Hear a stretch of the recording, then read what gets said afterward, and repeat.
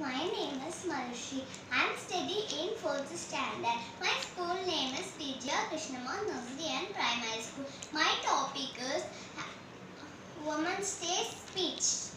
Happy Women's Day. International Women's Day is a which is celebrated on the 8th of March every year.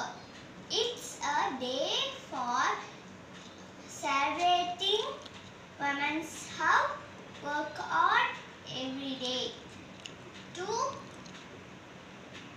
achieve personal and professional world legally of women around the world.